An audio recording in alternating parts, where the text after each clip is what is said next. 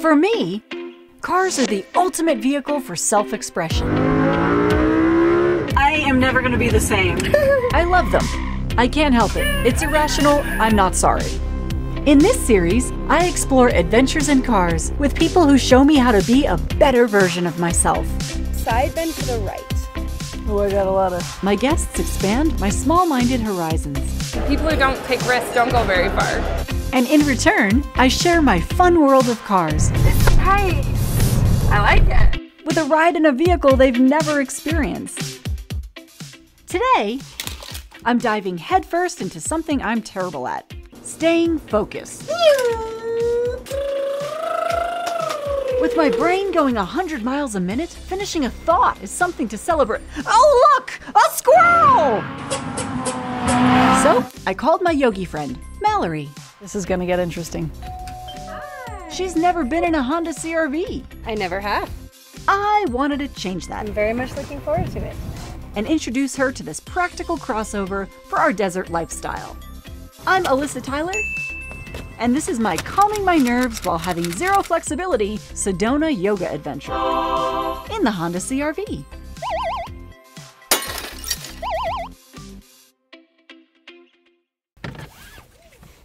So, what do you think? First impressions. It's very comfortable and pretty.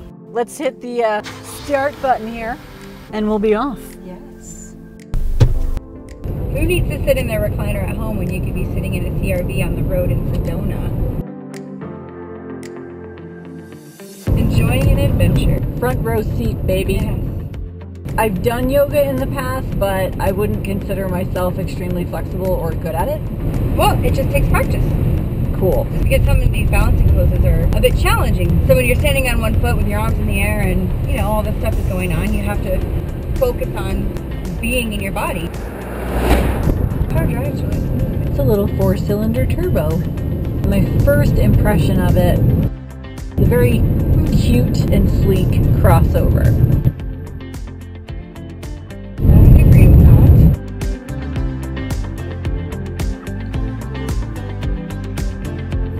Do enjoy how well I fit here. I mean, I can see well over the dashboard. The seat is extremely comfortable. In great vehicle. Win, win, win. Great. I think a sunroof is a must. I think so too. You just look in every direction. It's beautiful. It kind of feels like I'm on Mars or something. Quiet too. Nice quiet engine. How's it feel going up the hill? It doesn't feel like I'm dragging. And I have the air on too.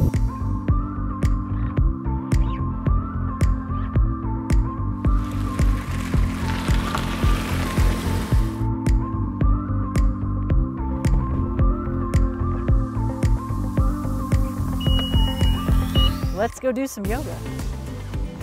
It is beyond gorgeous here.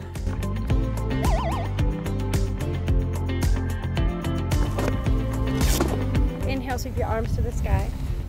Heart is lifted here, so we feel taller, right? A little bit. The beginnings of yoga can be traced back to India, 5,000 or more years ago. It's mentioned in old sacred texts like the Rig Veda and the Upanishads, where meditation and yoga are practiced to achieve a higher spiritual state.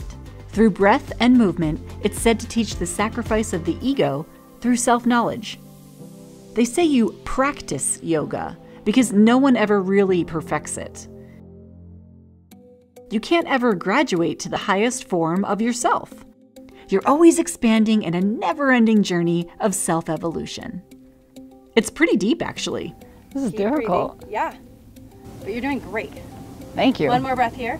It includes breath control, Inhale as you bring your hands behind the neck. focuses the mind, What am I doing?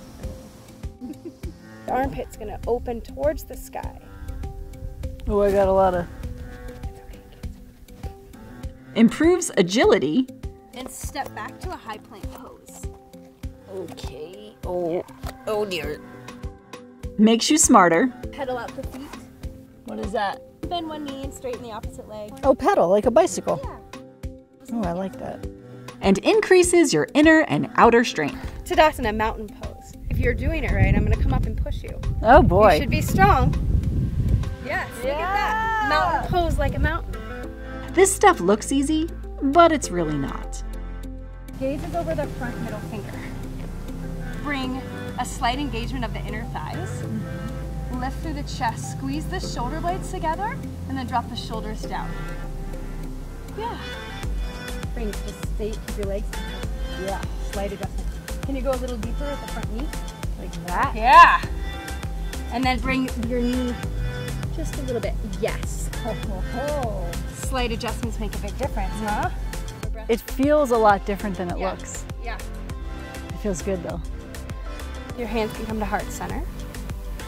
And then eventually you can bring the arms up and open your branches. Yoga. Yoga. Yes, let's eat. Then I stuffed my face with organic cherries, and Mallory talked to me about nutrition. I love a picnic. She made yummy hummus. It's red lentil instead of um, garbanzo beans. You're definitely inspiring me to live a little healthier. And then in the coleslaw, I have red cabbage, green cabbage, carrots, and kale.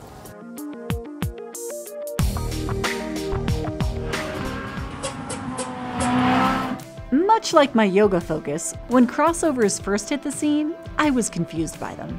Were they a van? SUV?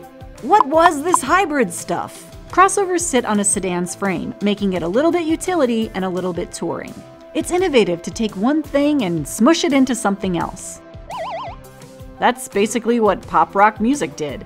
In that sense, you could say crossovers are the pop rock music of vehicles. The Honda CRV is a four-cylinder, 1.5-liter, 190 horsepower crossover with turbo. At under $35,000, it's a good vehicle for people looking in this class who want the flexibility of a crossover along with room and comfort.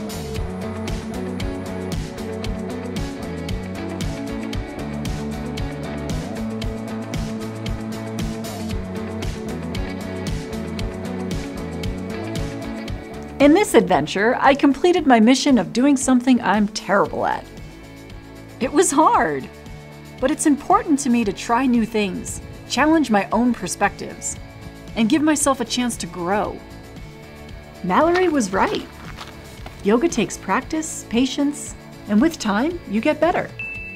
Ultimately, yoga calmed my nerves by controlling my body to uncontrol my mind. I've learned that the monkey mind is like autopilot, which is great if I know where I'm going, but terrible without a clear destination. Yoga shifts me into steering my life manually. Thanks for watching! If you like what you saw, subscribe for more adventures. Thank you, CRV.